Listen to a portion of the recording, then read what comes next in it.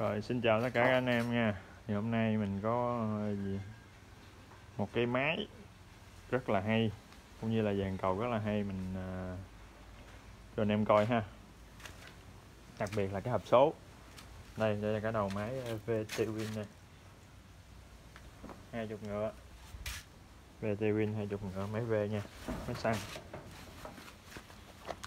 Ừ nè, hai à, hai máy à, V ha, hai máy V ra cái bô, ra một cái bô. Đây, đặc biệt đặc biệt là chúng ta có cái hộp số này đây.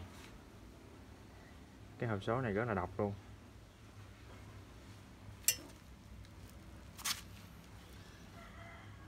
Này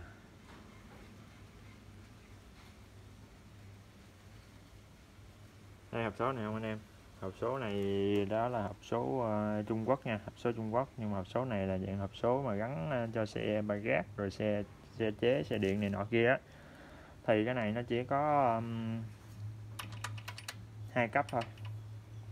Một uh, xin lỗi là ba cấp ha. Một công no hai là đồng tua cái thứ ba là nó tăng tua chút đỉnh nha.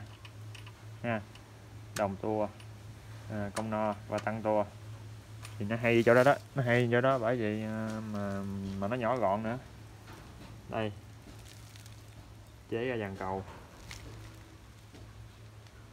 Chế ra dàn cầu uh, giống như ờ, uh, máy dầu uh, ba t nha anh em.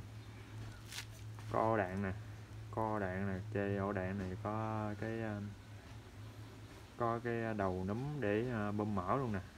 Bấm bơm mở luôn ha. Rồi đây một cái ổ đạn đây một cái à, ổ đạn nữa. Ổ đạn này thì kết nối từ à, cốt máy ra hộp số. Thì từ hộp số này mới ra cái này qua ổ đạn. Ổ đạn này sẽ nó chịu cái lực của chương dịch đạp lên ha. Nên nó chỉ có một chiều thôi, do đó mình xài ghen nha anh em. Nó sẽ chương dịch đạp lên đây. Đó.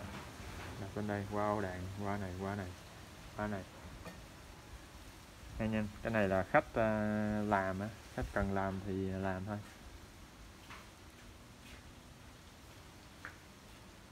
Đó. Đây làm sao. Đây là đang ờ, ở trạng thái ờ, không no nè anh em. Cái này chế cần gạt số nha. Cái này nếu mình gạt tay thì nó hơi nặng chút xíu. Này có cần gạt số thì sẽ ok hơn.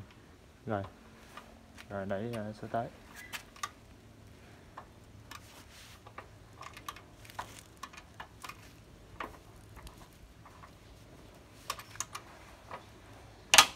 Đó nhiều số đó.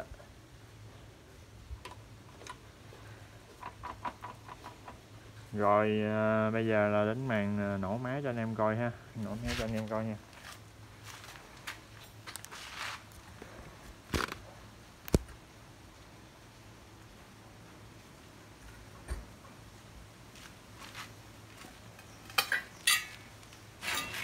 Cá hành dụng